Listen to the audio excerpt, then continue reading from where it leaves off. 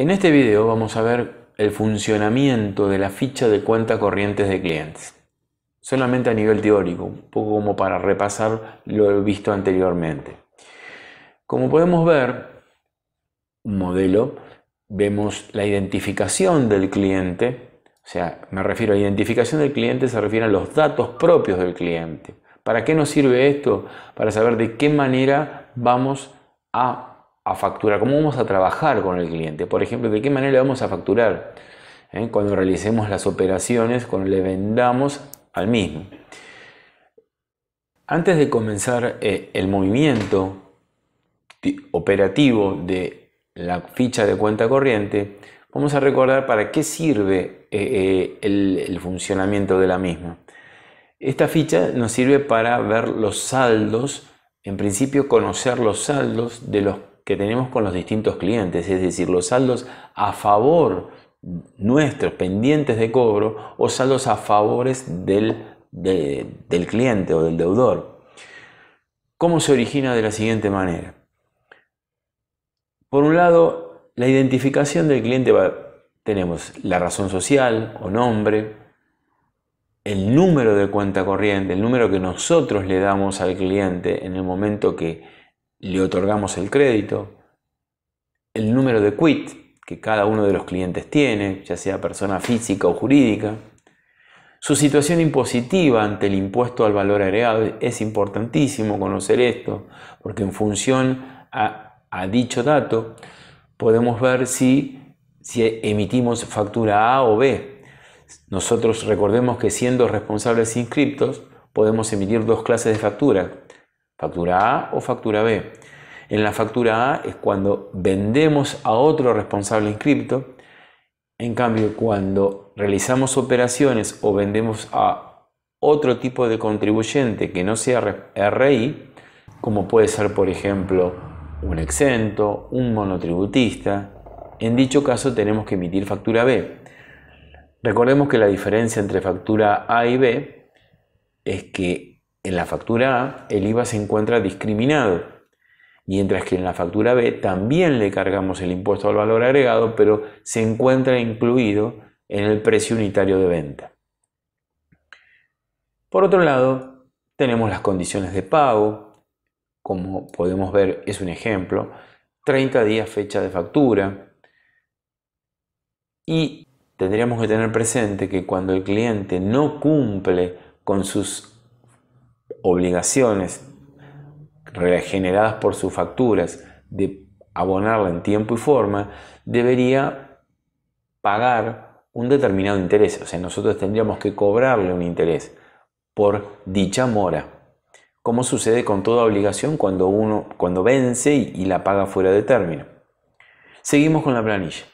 En la primera vemos la fecha, la primera columna, o sea, el momento en que se genera la transacción, como podemos ver abajo, la transacción o la operación, qué día, qué día, qué mes y año se genera la misma, tipo y número de comprobante, es decir, si es una factura, si es, eh, si es una factura A, una factura B, si es una nota de débito, una nota de crédito.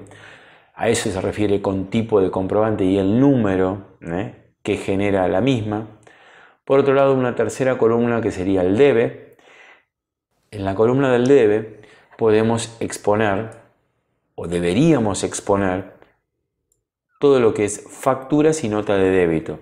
Es decir, que la factura y la nota de débito aumenta la cuenta del cliente. ¿Qué significa que aumenta? Es decir, que el cliente nos debe más, le debe más a la empresa o le debe más a aquella persona que está confeccionando la eh, dicha ficha.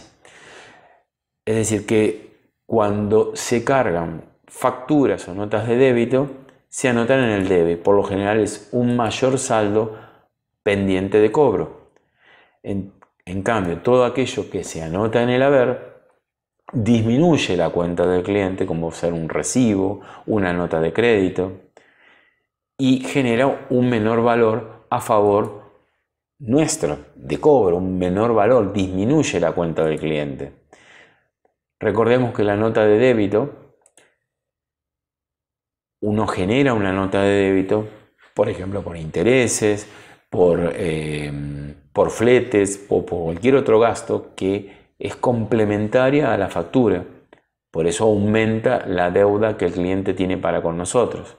En cambio, la nota de crédito disminuye el valor de dicha deuda. Por ejemplo, una bonificación, si le otorgamos una bonificación o si el cliente nos devuelve mercadería, o sea, por devoluciones, eso genera que el cliente nos deba menos, por eso le debemos emitir una nota de crédito. Ahora bien, una vez que exponemos los diferentes conceptos en las columnas que correspondan, debe o haber, la diferencia entre ellas nos genera un saldo.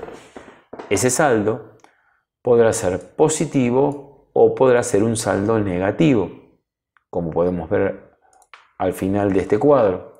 Si el saldo es positivo, el cliente le debe a la empresa. ¿Qué significa que el cliente le debe a la empresa? Es decir, que le vendimos, hicimos facturas, anotamos en el debe, fuimos sumando, esa cuenta corriente se fue incrementando y al finalizar cada movimiento vamos sacando el saldo respectivo. Recordemos que es una cuenta corriente. A través de cada movimiento debemos actualizar ese saldo. Entonces, el saldo positivo significa que es el saldo que el cliente nos debe a nosotros. Y el saldo negativo es cuando el cliente pagó, por ejemplo, pagó en exceso o, alguna transacción que o puede haber pasado no solamente que haya pagado en exceso, por ahí nos dio un anticipo de clientes, nos generó, nos adelantó dinero, por lo tanto tuvimos que anotar en el haber, le tuvimos que haber generado un recibo por el dinero que él nos adelantó pero todavía nosotros no facturamos. Entonces eso hace que nosotros le debamos al cliente. Por eso genera un saldo negativo. Son ejemplos para eh, dar lugar a lo que es un saldo negativo como un saldo positivo.